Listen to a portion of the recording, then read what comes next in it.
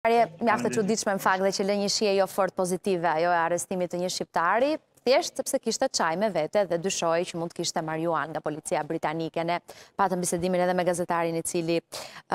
njohu të gjithë këtë bëri me dije në fakt të gjithë këtë histori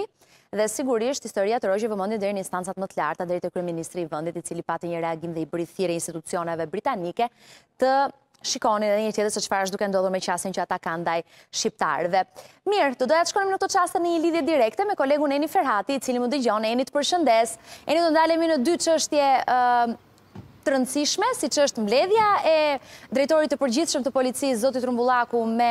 drejtorin e policisë së Tiranës, një mbledhje për ngjarjet e fundit kriminale që kanë ndodhur në vend dhe ende në fakt kanë mbetur pa një autor. Pse kjo mbledhje tani, çfarë ndryshon në të ardhmen dhe sa do të rriten masat e sigurisë në të gjithë vendin?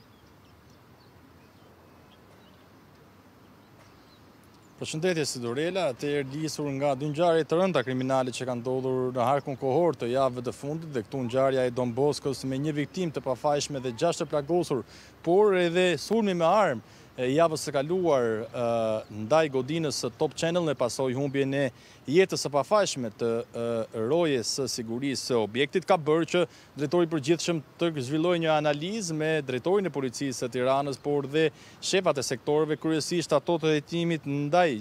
krimeve kundër jetës. Sipas informacioneve konfidenciale që unë kam arritur të siguroj mhm. pranë grupeve hetimore, më është bërë me dije fakti që për të dyja këto ngjarje kriminale të cilat kanë tronditur opinionin publik, ka përparime sa i takon hetimeve, nuk do doja të thoja që të dyja ngjarjet janë zbardhur, por hetuesit kanë arritur të sigurojnë informacione të vlefshme, prova, por dhe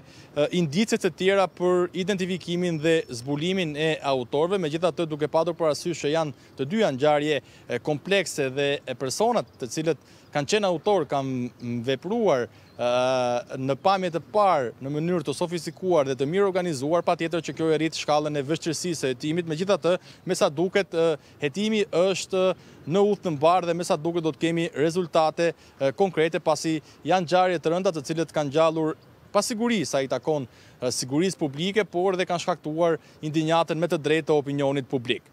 Shiko, Eni, përveç këtij rasti, dua të ndalemi duke qenë se të shoh të pozicionuar edhe në spak, kam përshtypjen. Ndodhesh atje. Edhe dua të të bëj një pyetje lidhur me ish-zëvendëskryeministrin Arben Ahmetaj, i cili ka ankimuar vendimin e atij institucioni, të SPAK-ut, për sekuestrimin e vilave në Hamallaj dhe Palasë. Çfarë është duke ndodhur në fakt me çështjen e Ahmetaj dhe sa të drejtë mund të ketë në këtë ankimim të tij, në sa gjasa ka të rezultojë pozitive kjo kërkesë e tija?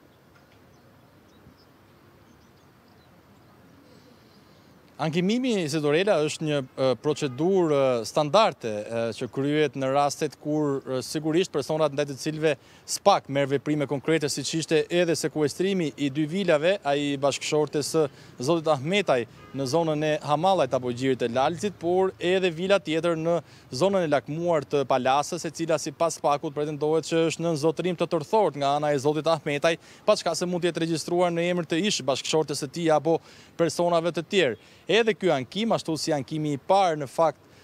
i zotit Ahmetajt lidhur me kontrollet që u ushtruan në këto vila, është depozituar nga avokatët e tij, të cilët kanë kërkuar që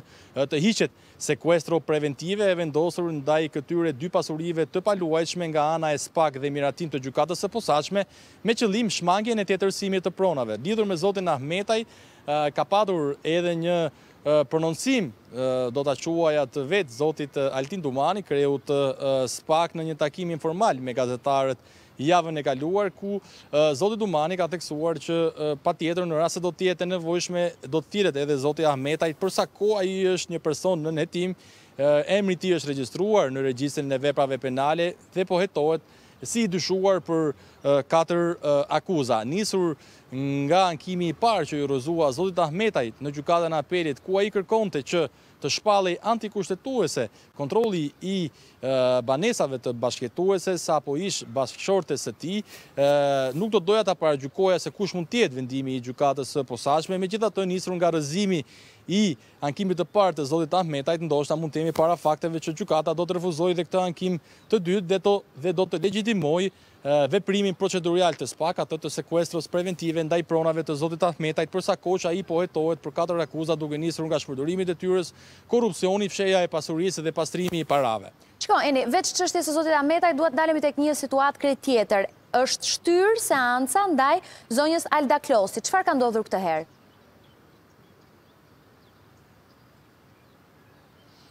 Atëherë Alda Klosi, ish zyrtarja e Ministrisë së Rindërtimit, e cila ndodhet pas hekurave prej disa muajsh lidhur me dyshimet për fshehje të pasurisë, pastrim të parave, por edhe deklarimit të rremë para oficerit të policisë gjyqësore, vijon të kërkojë ndryshimin e masës së sigurisë, atë të arrestit me burg, duke kërkuar një masë më të butë sigurie. Kujtoj faktin këtu që Gjykata e Apelit disa javë më parë refuzoi që ajo të lirohej me një masë më të butë sigurie, këtë herë zonja Klosi nëpërmjet avokatit të saj, i cili ka ndruar dhe avokat më saktë, nga avokati Ilirjan Muho kemi arritur të mësojmë që tashmë zonja Klosi do të përfaqësohet nga avokati Arbër Hoxha, i është drejtuar me një kërkesë gjykatës së Tiranës për të zbutur masën e sigurisë nga ajo e arrestit. Në fakt, kjo seancë që do të zhvillohet ditën e sotme Në orën njëmbëdhjetë e pesëmbëdhjetë minuta është shtyrë për shkak se gjyqtari që do ta shqyrtonte atë ka qenë i mbingarkuar sa i takon masave të sigurisë, por ajo çfarë Alda Klosi kërkon është që të ndryshohet masa e sigurisë ndoshta në arrest shtëpie apo detyrim paraqitje pasi ndodhet në gjendje të rënduar shëndetësore, ka maman gjithashtu të sëmurë por edhe duhet të kujdeset për vajzën e saj Minorene. Tashmë do të jetë Gjykata e Tiranës nëse do të vlerësojë se Alda Klosi, e cila në fakt u zbulua pas dëshmisë së sanitares së saj Rozeta Dobi lidhur me historinë e vjedhjes së 404.000 eurove dhe një sasi dollarësh në banesën e saj, nëse do të lirohet pra apo do të vijojë të qëndrojë në qelitë e paraburgimit. Faleminderit Eni për të gjitha informacionet për të tria çështjet. Në fakt do ndalemi në një situatë krejt tjetër, në një